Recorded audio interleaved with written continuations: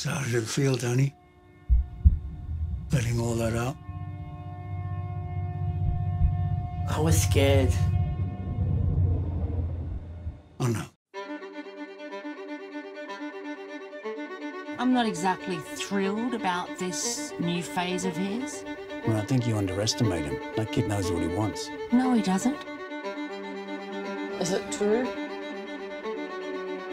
That you knocked someone out? Please wake up.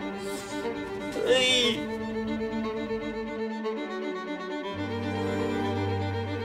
Think about it. No one saw it. No one's going to believe you, even if you do tell them. People are just going to call you a liar. But you could tell them I'm not. Yeah, I could, but then they just say I'm protecting you.